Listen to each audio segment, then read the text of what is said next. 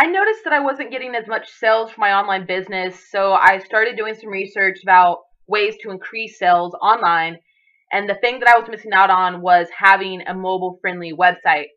My business, it just looked horrible, unprofessional on a phone, and I was missing out on all the other features that come with having a mobile website. I checked a few places out that build mobile websites, but they were just all too expensive for me. And then I came across Mob Site Maker and I decided to go with them. They allow the users to simply install it on their computer, just enter a few details of the site, and then choose from any of the preloaded mobile themes that were all really nice, modern, cool looking. So now when people go to my site from their phone, it's so much easier to navigate and it just gives a very professional feel.